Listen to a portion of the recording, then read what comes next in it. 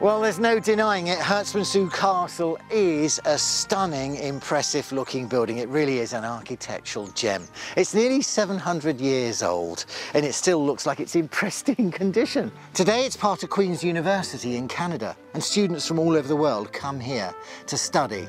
But its story is one of great survival. This is a building lucky to still be standing. Herstmonceux may look like a fortress designed to hold back an army, but it isn't. Look a bit closer and you might spot a few problems. It's made of brick and has big windows, neither of which are much use against cannons or siege catapults. And that's because Herstmonceux was never meant to be a fortress. The castle was built in 1441 by a wealthy nobleman, Sir Roger Fiennes. Not only did he want a home that would impress, but it also had to reflect his taste and his status. he not only made this absolutely huge, but he decided to build it out of brick, which was really unusual because back in Britain at that time, nobody else was building in brick. So you could say this is the finest build of its kind since the Romans left a thousand years earlier. However, few people in the country really knew how to build with brick. So Sir Roger had to bring in specialist brickmakers and builders from Belgium. That brought the cost of this ambitious project to over £1 billion in today's money. It was a huge success. Trend-setting Roger made brick building fashionable. The size and the style of the castle put Herstmonceux on the map and inspired the design of other buildings around the country. For the next couple of centuries, life for the castle and its owners ticked along fairly smoothly. Running a castle like this was probably enough of a task. By the 1600s, the family name changed by marriage to Leonard, and these accounts from the period give a fascinating insight into what life was like in the castle and how the castle ran its financial affairs.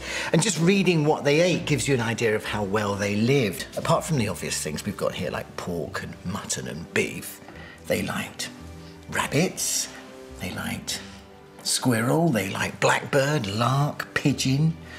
It's lobster, crab, mullet, bass, and it even says here maids, ursas and withies, whatever they are.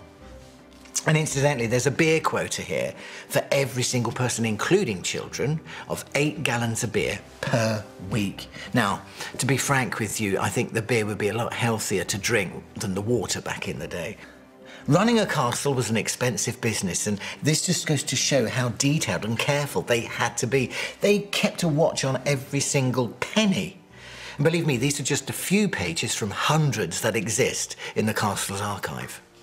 Unfortunately, the cost of lavish living in such a grand castle became too much for the family, and by the 18th century, it had to be sold off. This was bad news for Herstmonceux. Over the next 60 years, the castle passed between different owners, slowly becoming more and more neglected. And in 1776, all the contents of the castle were sold off. Fixtures, fittings, fireplaces, everything. The sale lasted three days and the eager buyers camped out on the front lawns. Now that's the type of dedication to auctions we love to see on Flog It, but the worst was still to come. The owners of the castle demolished all the interior walls. All that was left were these outer walls of Herstmonceux Castle. It literally was a shell. A once grand and glorious home was now left as a ruin. Over the next century, the ivy crept in and virtually swallowed the ruins. The elegant gardens became overgrown, and the once great castle became a quaint Victorian tourist attraction. But it wasn't all over for Herstmonceux. There was a knight in shining armour, ready to rescue this castle in distress. It was bought in 1911 by Lieutenant Colonel Lowther.